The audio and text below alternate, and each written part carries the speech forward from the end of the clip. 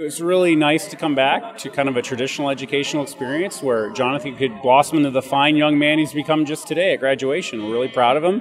Uh, and we're excited that this day has come. It's been a great day. Jonathan is confident and he feels like he belongs in uh, not just in, at a school, but it, like as part of a country, as part of a, uh, a leadership movement where he can uh, make a difference at, at any level he chooses to do so as he goes out into the world. And uh, I think that's really been the difference for Jonathan is uh, Hargrave confidence that's given him the ability to, to have a dream and to know that that dream will be supported as he goes out and moves forward.